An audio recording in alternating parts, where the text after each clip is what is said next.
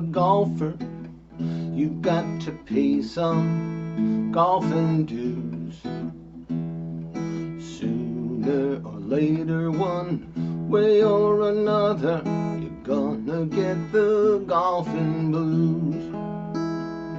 It starts when you think it can't be that hard to hit a ball that never even moves.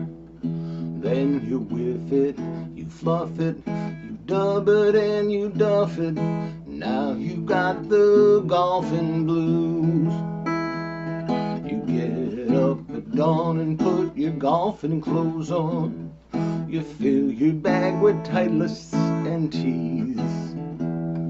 Your gloves cabretta leather fit for any kind of weather. You got your fifty dollar green fees. You're feeling in the pink as you head out to the links. You've got no golfing worries at all. But when you try to hit it, you take a two foot divot, and the divot travels farther than the ball. If you grip it and rip it, then you just can't seem to chip it. You hit it fat and then you hit it thin. You it, you slice it, before you realize it, you got the golfing blues again.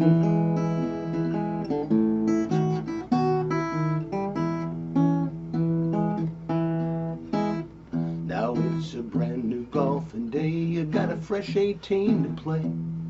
Your clubs are cleaned and ready to go. When you take your practice swing, birds come out to sing today. You just might shoot your all-time low. But you chunk it, you yip it, you choke and chili dip it, you stub and flub each simple pitch and run. You skull it, you yank it, you pop it up and shank it, and the golfing blues have only just begun.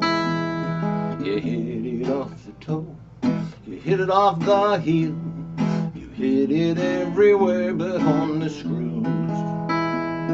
You bounce it off a tree and then your partner's knee.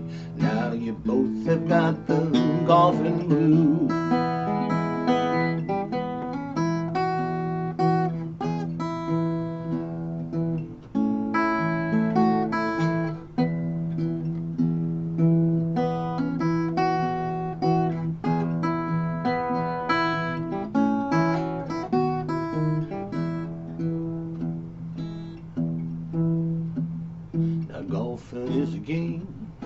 For all kinds of folks, for Christians, for Muslims, and for Jews.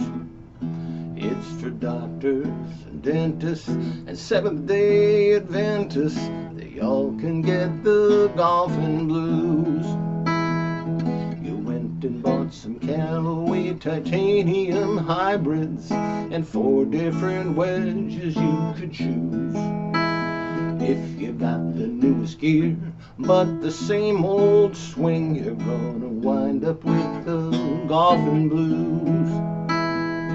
You hit it so far right, you're out of everybody's sight. You find your ball in knee-high grass.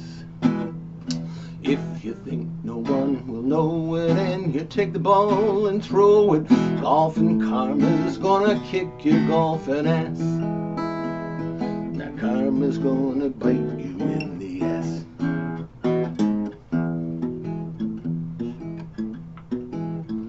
So you take some lessons, you take some pills, you begin to meditate and pray. You try some golf hypnosis, wind up with a neurosis, and the golfing blues come back anyway. So you smack it, hack it, you wear your green jacket, you'd sell your soul to shoot even par. And all this time you're thinking that you gotta put off your drink until you're sitting in the clubhouse bar. But when you whack it in the woods, or launch it in the lake, or knock it near the grassy knoll. Before you lose your temper, all you need is to remember to take a drink on each and every hole. A sip of scotch, a jigger of gin, a swig of warm tequila. No need to let your score card stop your fun. If your tee shot doesn't please you, pour some liquid anesthesia. You'll put the golfing blues on the run.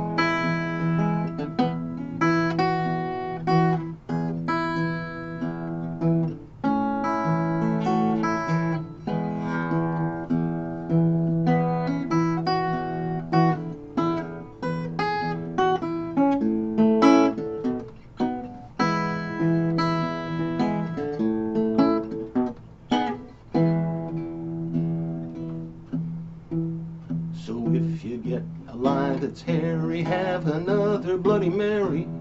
If you make us seven drinks on seven crown.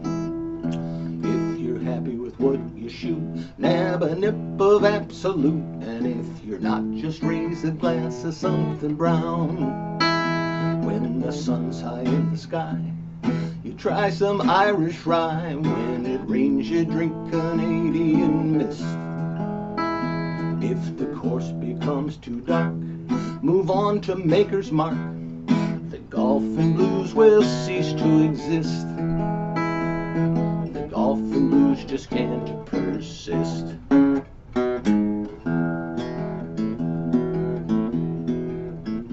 If you don't convert that sandy, grab a gulp of summer shandy. Two bogeys means you drink two Moscow mules. If you're in the fairway bunker, the key's getting drunker. If you're drunk enough, it's always winner rules. If you make the putt for eagle, share some shots of Chivas Regal. If you miss it, try a taste of Tanqueray. If you drink when you're the low man, and when you make a snowman, it really doesn't matter how you play.